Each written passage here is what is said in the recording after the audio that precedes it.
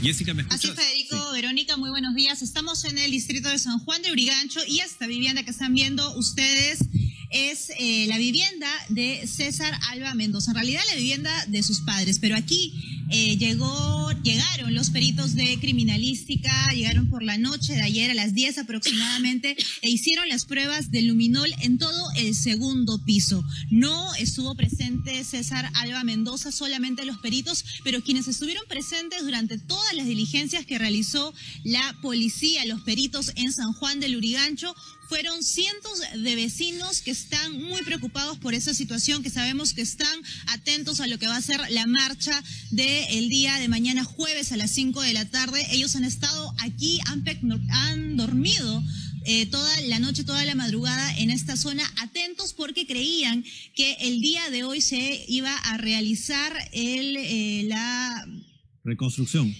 esta información con el señor César Alba Mendoza que iba a llegar a esta zona para poder eh, saber exactamente cuáles fueron los movimientos que se hicieron ese, ese día lamentable en el que eh, asesinó a la pequeña Jimenita. Incluso quiero mostrarles, compañeros, ellos, esos vecinos, han colocado esta especie de homenaje para la pequeña Jimenita, porque este es el lugar donde lamentablemente se le encontró a ella. El cuerpo de esta pequeña se encontró en esta zona. Aquí ellos han colocado velas, flores para recordar a Jimenita e incluso han colocado este bastante grande para poder hacer un llamado de atención sobre todo a los niños. Nos referimos eh, al hecho de eh, cuidar su integridad. ¿no? El, el, mensaje más grande es mi cuerpo es sagrado, nadie debe tocarme.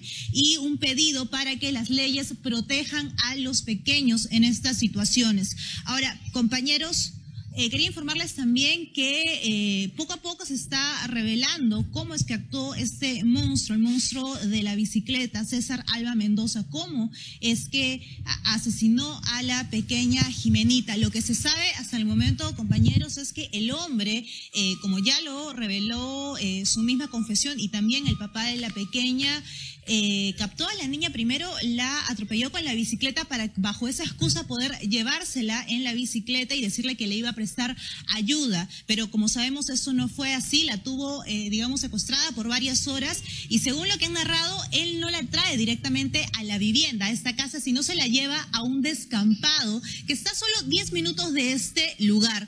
Eh, no sé si tienen ahí, Federico, Verónica, las imágenes de esta zona que en verdad nosotros hemos ido de noche y es un lugar totalmente desolado donde no hay ni siquiera una caseta de vigilancia. Y lo que se, se encuentra en ese lugar son dos baños eh, de varones y de mujer que eh, en realidad eh, es con material prefabricado bastante abandonado. Y es ahí hacia donde había llevado este hombre a Jimenita. Ahí aparentemente y según lo que él ha, mencionado a la policía la habría ultrajado y luego la habría estrangulado. el día de ayer que llegaron los peritos a ese punto, también antes incluso de venir a esta casa, encontraron Federico eh, una sandalia que al parecer sería de la pequeña y eh, rastros de sangre. Es lo que ellos han encontrado el día de ayer. Luego de eso, compañero. Sí, Federico, te escucho. Jessica, según la confesión, eh, el ultraje y el asesinato se realizan en ese descampado. Él supuestamente lleva el cadáver ya de la pequeña a esta casa de sus padres, donde, a ver si nos ayudas con la cámara, eh, habría subido las escaleras, esas escaleras, eh, a ver si nos, nos ayudan, recién estamos con la, con la toma de archivo. Eh, a ver, vamos con la cámara, por favor. Vamos a mostrarte. Esta es la vivienda, como estás observando. Y como tú bien has mencionado, vamos, vamos a la escalera. Vamos a la puerta principal. Sí, por favor. Para que se vea. ¿Y era la casa de los eh, padres este o eran inquilinos? porque no hay otro nombre con qué describirlo. Sí, a ver. Asesina, estrangula a la pequeña Jimenita en este baño que estamos mostrando de ese descampado. Sí, ya lo acabamos y lo que él ha dicho es que ha traído el cuerpo eh, a promediar horas de la noche y ha subido por, eh, por estas escaleras. Vamos a mostrar las escaleras, que están un poco escondidas en esta zona, que son directas a la, puerta esta a la puerta, puerta es de directa. la habitación de este hombre, que ustedes pueden ver que está incluso marcado con esta cinta. Eso es, ahí es, ahí es donde él llevó el cadáver de la pequeña Jimena, ¿no es cierto? Ha tenido que subir esas escaleras con, con, el, con el cuerpecito, o sea... Eh, Así es. Y, y de ahí en la madrugada ha bajado por ahí mismo. Claro, y eso, Federico, es lo que llama la atención de que nadie se haya dado cuenta y ha dormido con el cuerpo. Debajo de la cama. Por eso. Y también, Jessica, quería preguntarte algunas cosas. Primero, ¿a qué distancia se encuentra este descampado que nos has mostrado eh, durante la madrugada? Eh, eh, con respecto al parque y la comisaría por donde vimos que este sujeto eh, captó a la niña con, la bicicleta. Y segundo, este segundo piso era alquilado por los papás de este sujeto porque hay mucho interés por parte del padre de hacer un registro de violadores y hablaba sobre el caso, en los casos que no alquila una vivienda. Esos dos detalles y además se ha trascendido ya una fecha de reconstrucción.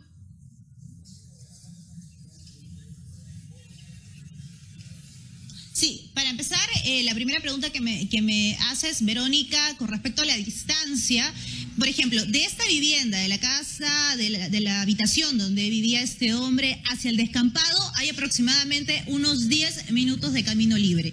Desde ese descampado hacia la comisaría hablamos de la mitad de tiempo, 5 minutos nada más. E incluso eh, cerca de la zona eh, nos indican que hay una sede del Poder Judicial, eso todavía está por confirmarse, pero es muy cerca, es lo que mencionan los vecinos. Eh, y bueno, es una zona donde no hay vigilancia, pero sí hay viviendas que, eh, cuyos vecinos indican que no habrían escuchado ningún tipo de ruido, porque esa zona justamente anda descampada, ¿no? Y es muy alejada de sus casas, pero no vieron nada extraño.